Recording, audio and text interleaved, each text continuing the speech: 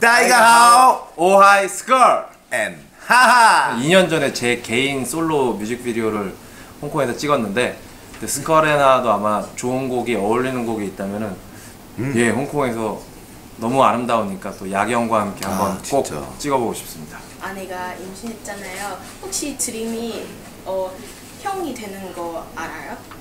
아 알고 있습니다 알고 있고 어 드림가 처음에는 자, 자기는 동생 필요 없다고 하다가 막상 동생이 생기니까는 엄마 앞에를 이렇게 쓰다니면서 너무나 너무나 예뻐해요 네, 듬좀그 아이도 아직도 아기인데 되게 듬직해 한답니다 연예인은 되고 싶으면 어, 장, 찬송할 아, 예, 예, 예. 이해했어요.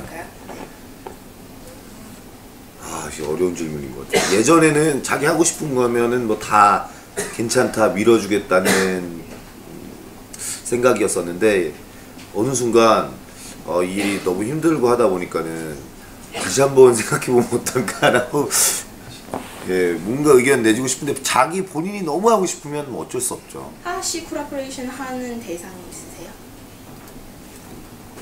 저희도 엑소 방탄소년단 네. 다 좋습니다. 네. 연락 줘.